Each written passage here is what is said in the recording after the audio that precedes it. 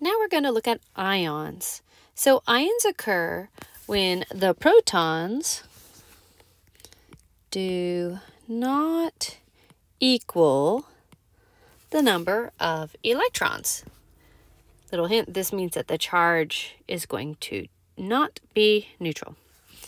A cation, so cats, they have paws. So a cation is positive.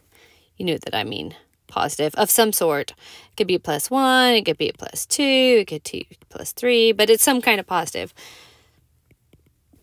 An anion has an N in it.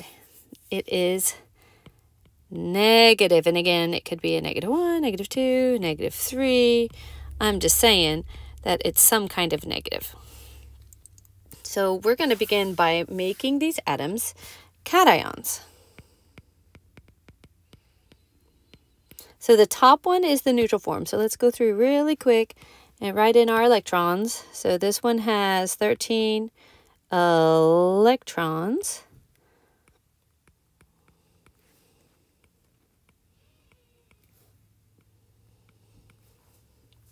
Now, we want a cation. So that means to be positive, that means that you're going to have to have more protons because those are positive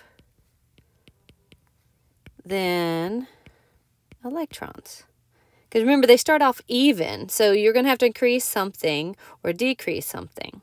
So to make a cation, we need to write down a number that has more protons than electrons. So if we look right here, we start off with 13. So we just need a number that's less than 13.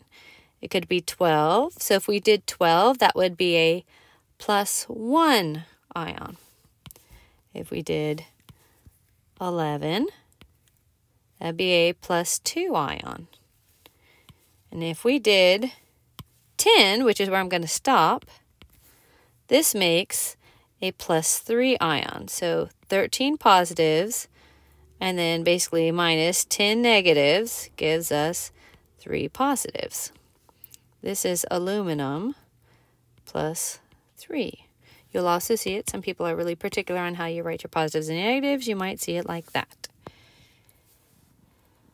So let's go and do chromium. We start off with 24 electrons when it's neutral. If it's going to be positive, we need less electrons, and more protons. We're not changing the protons because that would change the element. We're, we're changing the electrons. So we just need some number that's less than 24. Why don't we make this like chromium plus 1? It just needs to be 23 electrons. So see, if we have 24, if we have positive 24 and then minus 23, that will make us plus 1. So this would be chromium plus. Again, if we're going to make a positive, we're going to need less electrons. And so maybe like on this one, we could make it 53 electrons. So 55 minus 53 gives us 2. So this is chromium 2 plus. And then, I'm sorry, cesium 2 plus. And then let's see, in this case, uh, let's try making fluorine positive. So we're going to need less electrons.